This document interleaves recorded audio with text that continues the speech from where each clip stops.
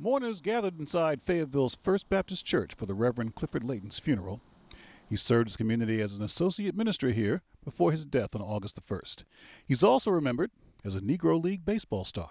As a ball player, he talked about the challenges that he faced uh, being uh, in the in the league and how they were basically ostracized and had to develop their own league.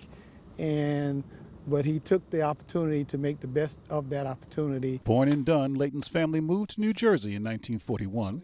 His skill as a pitcher and infielder while playing in New York City's Central Park got the attention of scouts for the Negro League Indianapolis Clowns.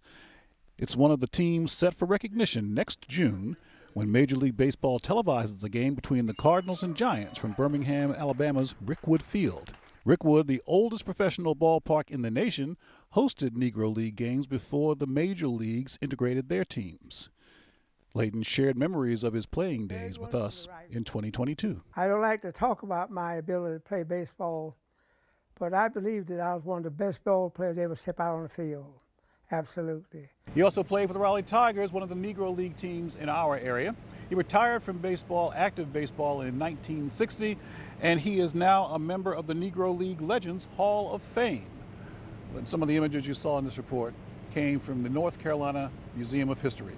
Reporting from Fayetteville, Anthony Wilson, ABC 11 Eyewitness News.